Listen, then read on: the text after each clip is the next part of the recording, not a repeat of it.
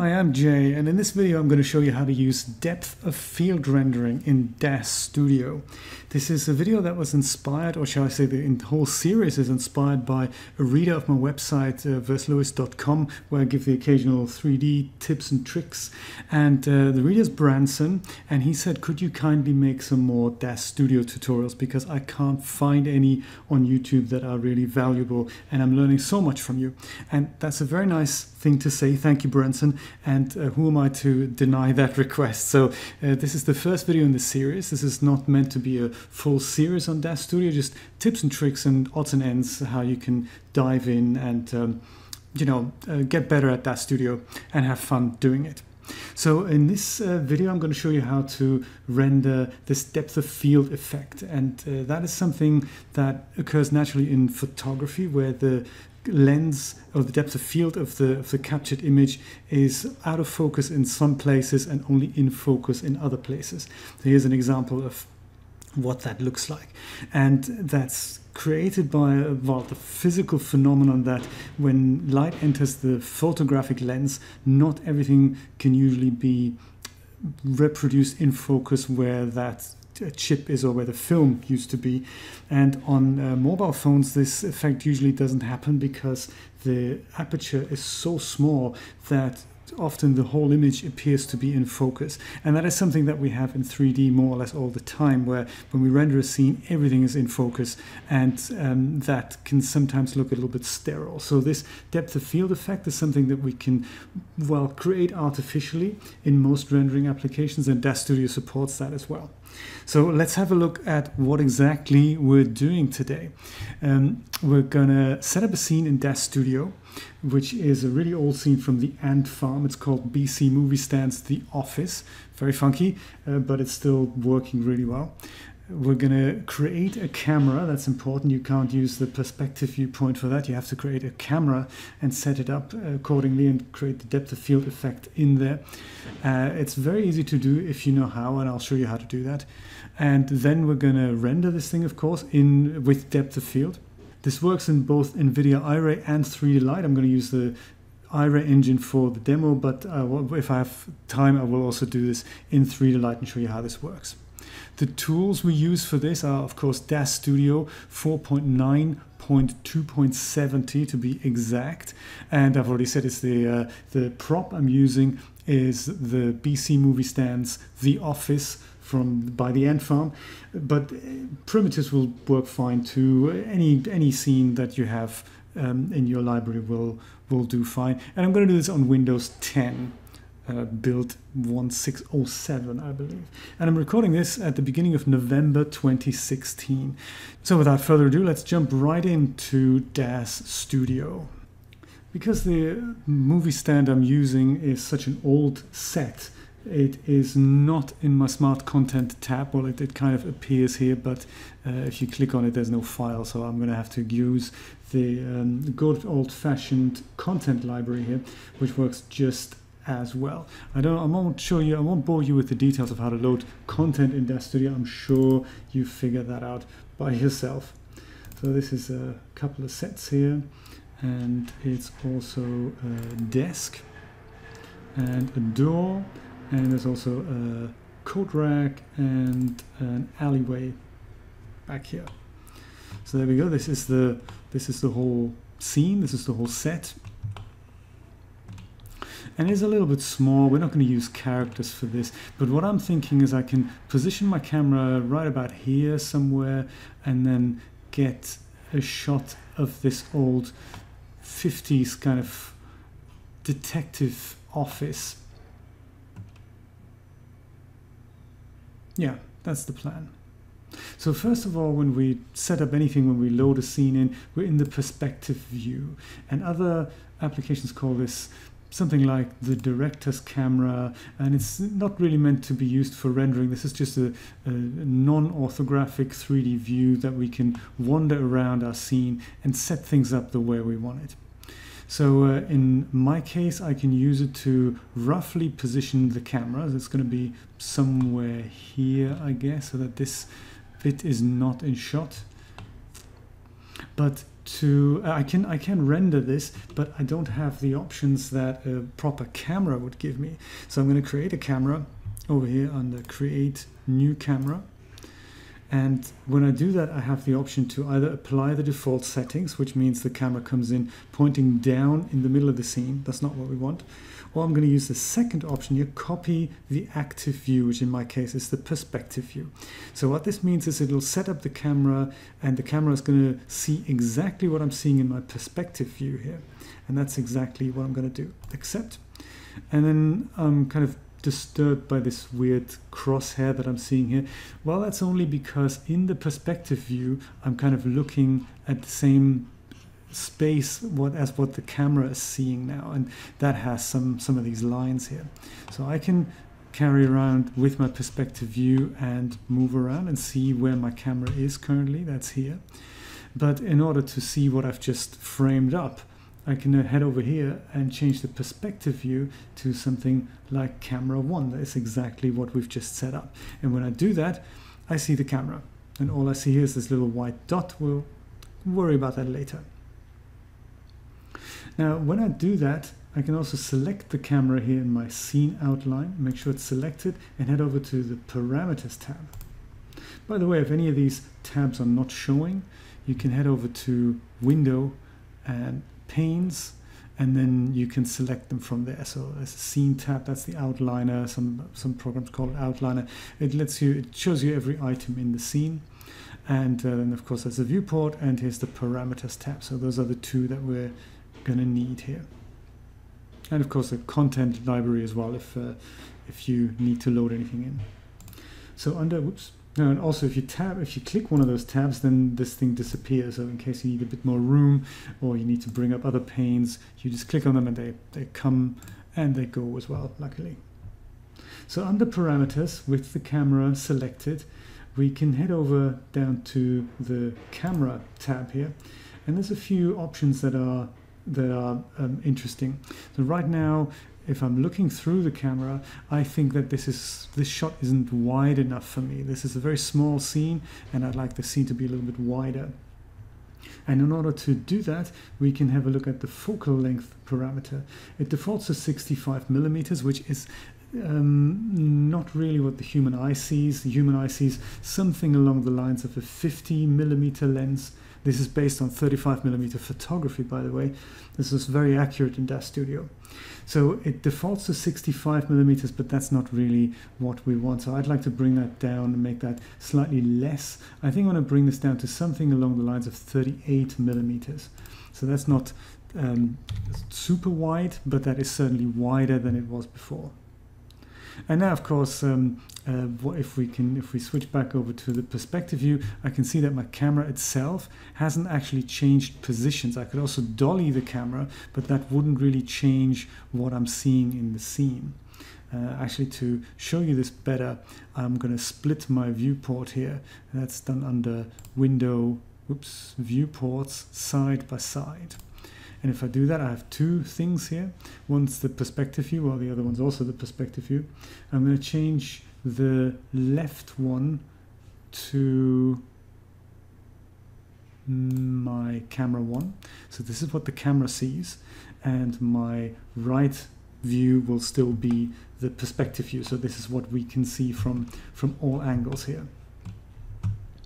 This outline, by the way, that shows me, well, what would be rendered uh, currently that is called the aspect frame. I'm going to switch that off. We're going to switch that on again later. You can do that uh, by clicking on these three little lines here and then just untick show aspect frame. It'll come in handy later. And here we can now select whichever item we want to manipulate. In our case, that's the camera. So select the camera and we see this whole outliney thing. Well, we'll get to that in a minute. I just wanted to make the point that when I select the camera and I change the focal length here, then you can see that on my left hand side this makes a drastic effect but on the right hand side you can see that the, the, the camera remains in the same position as it was. Now it's different if I were to hover over my camera window and then scroll my mouse wheel. This would physically dolly the camera. So we will remain, we will retain the same focal length as we had before, but right now the camera moves positions. So that's a different effect here. And I'm going to do both here. So I'm going to, first of all, I'm going to set the focal length to 38 millimeters, as I said, and then I'm going to drag the camera into the scene a little bit more, and then perhaps uh, turn it around like this, so that we have the desk in the foreground here, and some of the scene in the background. When we frame up the camera, it's also very important to see what we're going to see in the final rendered picture. And that's where this thing comes in that was switched on in the other viewport here on, uh, on these uh, few lines here, the aspect frame. And if you select that, then you see a passepartout kind of a kind of a white border here that gives you at the top left here the aspect ratio, which is 4 by 3 right now. Uh, but we can change that in the render settings. I'll show you how in a moment. Um, but this is what we're going to see on the final render. So I can see that my scene doesn't have a roof, so the ceiling isn't here. That's why this little triangle is showing here. And I can see a little bit of you know non-background here so in order to frame that out I'll just shift my camera over a little bit further perhaps like so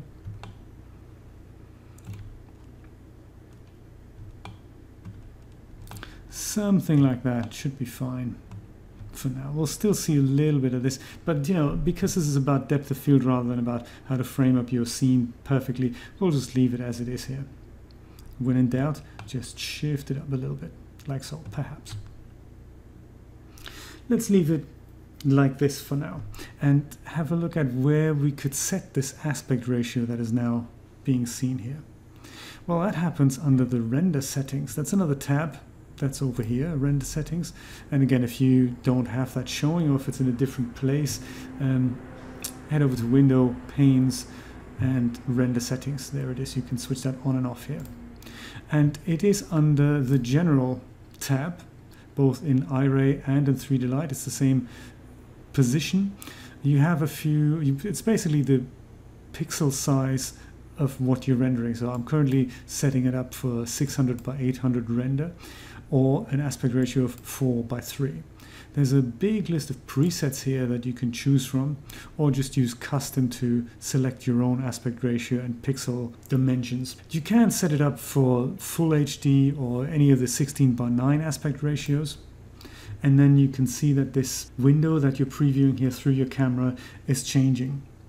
I'm going to leave it on 4 by 3 and perhaps 600 by 800 isn't a lot but you know, for, for testing, fine, I'll just leave that.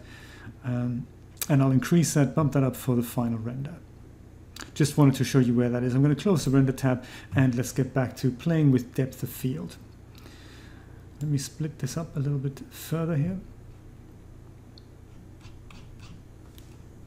And zoom in to show you the, the white outlines of what the camera sees here.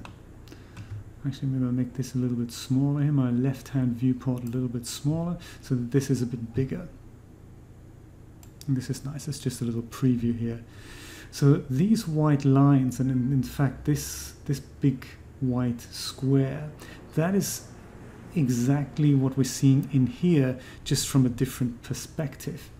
And if I change my focal length, then you can see that this thing changes size. Now remember that because in a moment when we're going to switch on the depth of field effect, which is just a button down here, there's two more of these white paints that are going to, going to be displayed. And that can look threatening and confusing, but it, it is really easy when, once you've got the hang of it. So let's, uh, let's switch this depth of field effect on. If it's off, then you won't be able to render with depth of field. Now we see the thing that we saw originally, but we also see these two other planes here. One is closer to the camera, one's further away from the camera. So what those two things are is anything in between will be in focus and everything beyond it and before it will be out of focus. And this is how a camera in real life behaves.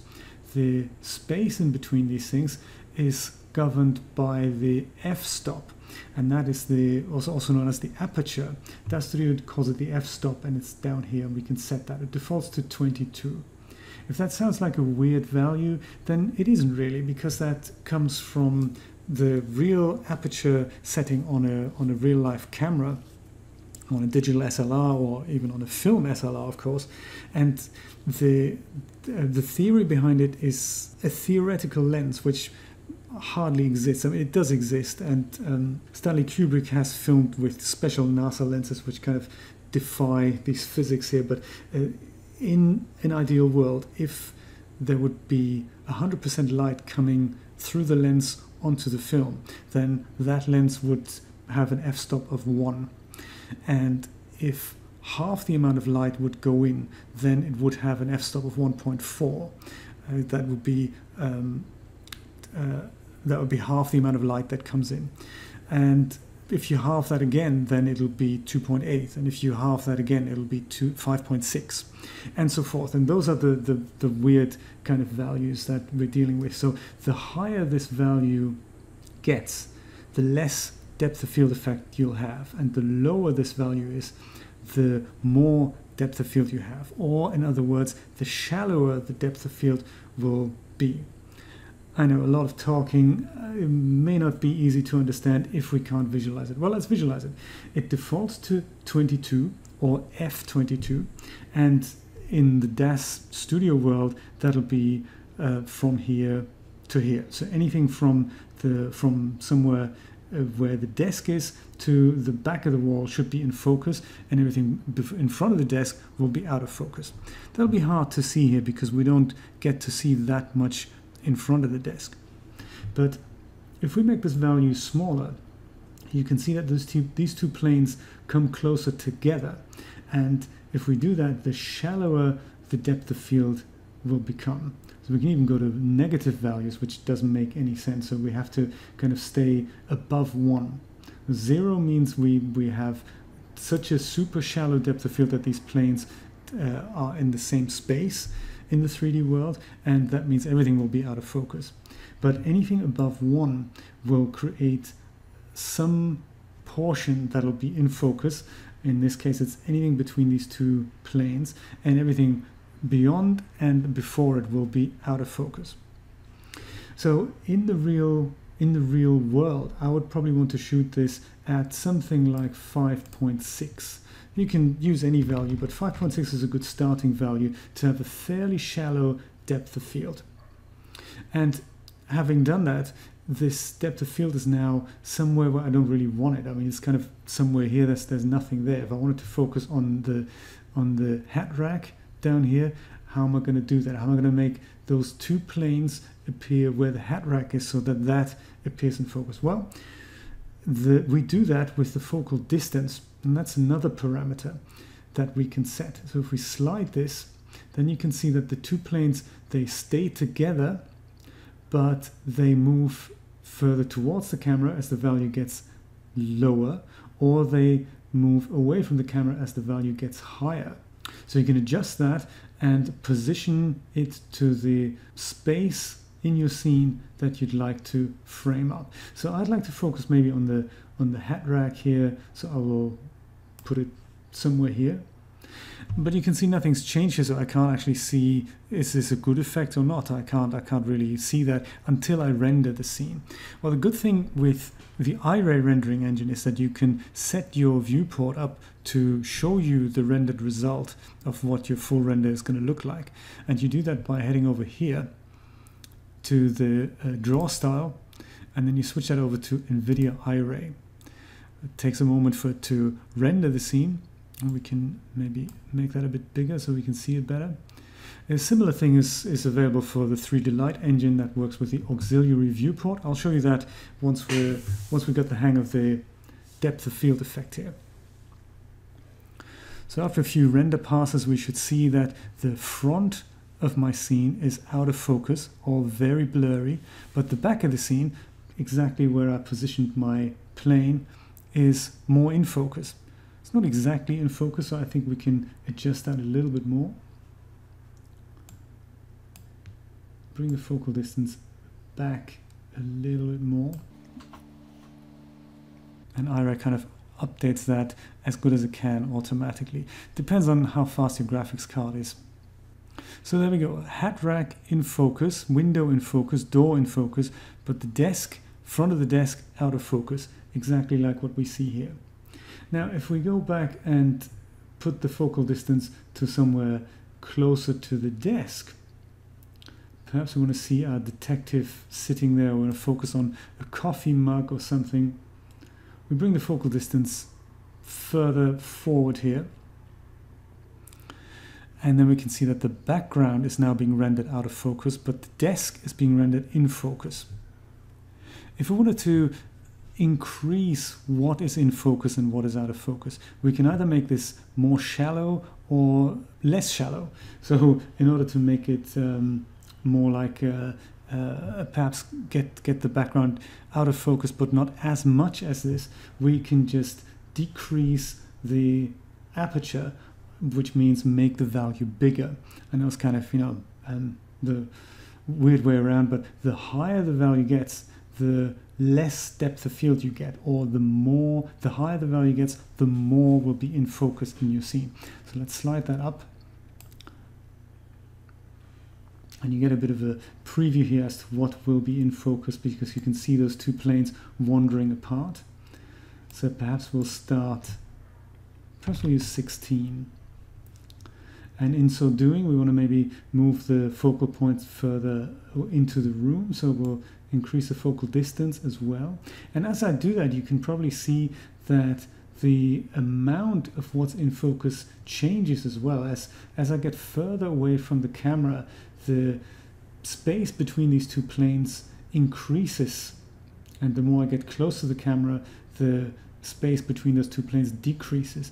And that is, that is based on just physical cameras. If you ever had a, a like a, either digital SLR or film SLR, sometimes they have this option that you can look through the aperture as you change it and you can see this effect live. Usually when you focus through an SLR, this happens at the, at the widest aperture, so you, you see a very shallow depth of field, but you get this the most amount of light, so that's good for focusing your scene but you don't get to see a preview of the real effect. So usually there's a button there that closes the aperture and then all of a sudden the viewfinder gets much darker, but you get to preview the, the real depth of field effect there. And by the way, if DAZ Studio gets a little bit too sluggish here for your taste, just switch that viewport back over to texture shaded and then it'll stop rendering in the background. Now let's see how this would work with 3Delight. The camera settings are exactly the same. I'm going to go back into my single viewport here by going over to Windows, Panes, oops, sorry, going over to Window, Viewports, Single View.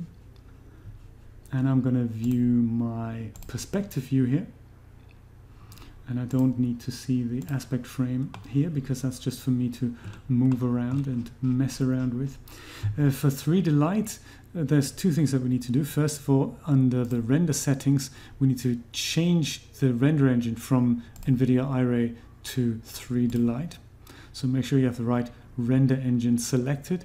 This is not going to affect the the uh, under general the the render dimensions but there's another little tab that we can utilize, which is up here, the aux viewport.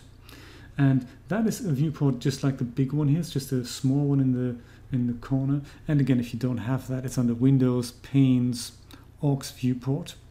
Switch that on, dock it somewhere, leave it floating, whatever you like, whatever floats your boat, and change that from perspective view to camera. And when you do that,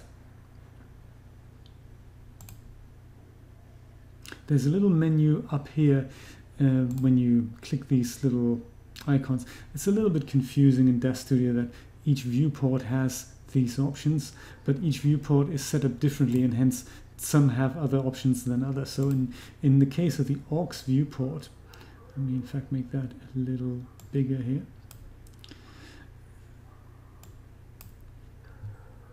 These lines have two options. One is stop IPR render and one is start IPR render. There's another one called show IPR toolbars. If you select that, you have these two buttons showing at all times. That I like that when I when I work with 3Delight. And um, currently, when this when this thing is yellow, that means it's stopped, and that means we see the exact same as we see here, i.e., the texture shaded viewport option you can set that here as well. You can even set this to Iray even if you're not using Iray, just for preview purposes. But with 3Delight, you can use this option as well, which is the interactive preview renderer. And if you select that, then you can see that the render window is kind of popping up and that means that DAZ Studio in the background is now rendering the scene in 3Delight in kind of a low resolution. Still takes a moment or so to do this. And if we had lights in the scene, then we would in fact see a rendered image here. Iray has um, some default image-based lighting, but uh, 3Delight does not have that. So it looks like we need a we need a light in our scene. Let's do that. Let me switch IPR off and create a new, let's say, distant light. That should do the trick. And a distant light uh, it doesn't matter where in the scene it is, it, it always comes in uh, with the same, uh, it, it's, it's parallel, it's like a sunlight, so all you need to worry about is the direction of it, and I think I'll go for something that comes from about here.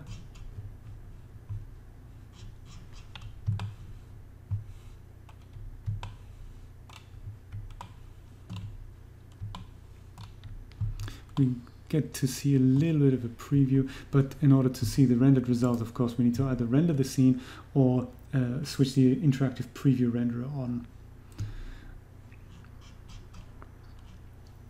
That's kind of cool but we can't really see the back of the office that is supposed to be out of focus so let's turn the light here. It looks a little bit flat but it doesn't really matter. It's just for demonstration purposes. And you can see that the back of the office is now out of focus and the foreground is in focus, just like what we've seen before. If I select my camera and I increase the focal distance, then I will focus on the back and perhaps to uh, to uh, to show the effect I'll go back to f5.6 here to make it really shallow and you can see that the foreground is now out of focus and the background is in focus. One other thing while I'm while I'm talking about this, there is there are these two little handles here on the camera that you can see in the in the perspective view. Uh, one is a little um, square right in front of the camera. So there's this this square here, which is where the camera is. That is to change the camera position or to basically change the camera size. Doesn't really do anything. It's more for other 3D objects. But there's one in front of it, and there's a little ball slightly further back. Uh, sometimes that shows up, sometimes it doesn't show up. Um, it's one of those things, kind of a trial and error thing. But these two things you can use to adjust the camera position and the position of the depth of field. So with a little ball, hold it down and move it. And what you can do here is then literally point the camera into a direction. And you can also select where exactly you'd like the focus to be. So that's kind of nice to set up your scene if you wanted this uh, little uh, certificate on the wall to be part of the focal scene here. You can you can make sure that it's it is it is somewhere in there, and then uh, you turn the camera and uh, basically point it at that. And the other little square is just for pointing the camera and to um, adjust the size of your framing. This is a, a framing help. Again, if we were to, let's switch the IPR off and let's go back to, well, in fact, we can use this viewport here, uh, look at it through camera one. Uh, the, by changing this little square, you can see live what happens in the little viewport on the right hand side here. Um, As you slide it towards the camera, you get to see more of your scene, and you slide it away from the camera, you see less of the scene.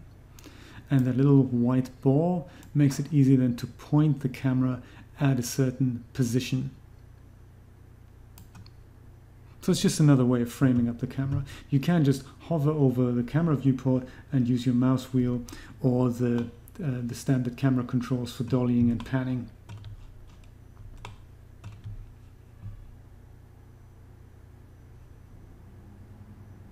Okay, let me set this up again to produce one last final render and then we're done with this tutorial.